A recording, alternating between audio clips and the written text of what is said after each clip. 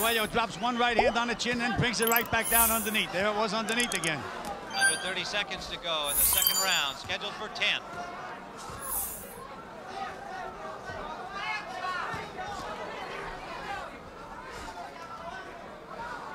Well, we, much, we mentioned would Arguello have the same punching power as a 140 pounder. So far, he's landed some big bombs, and Rooney's still standing.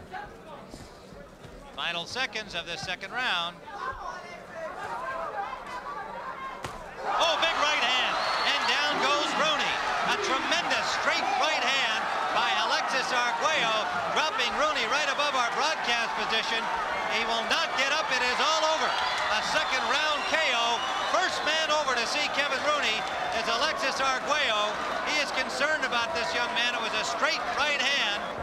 Arguello is still anxiously overlooking Rooney. The doctor is in there, Frank Doggett and his staff, and now Rooney struggling to get up.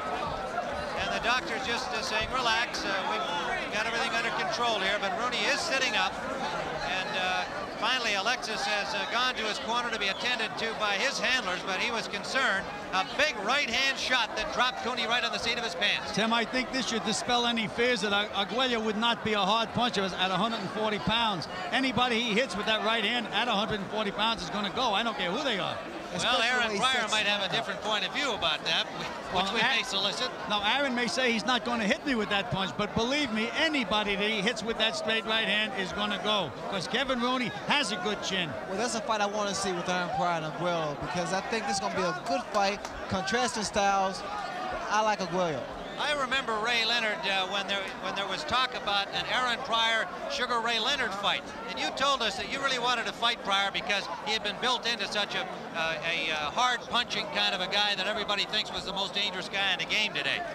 That's true, Tim. That's the reason I, I can't wait until that fight is signed. Alexis Arguello, whose next fight now figures to be Aaron Pryor for the WBA Junior Welterweight Championship at 140 pounds. Now we're going to go back into that second round. There is Kevin Rooney, and you can see he is talking and is all right. And again, there is Arguello over to see him. Uh, typical gesture of sportsmanship on Arguello's part. Let's go back into the action in round number two. And uh, gentlemen, now let's see if we can pick up the. Oh, wow, what? We didn't have much to pick up. It was just a perfectly executed right hand, Ray.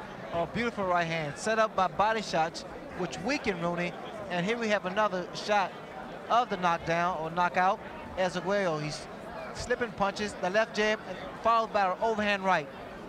That was a Absol beautiful punch. Absolutely a classical one-two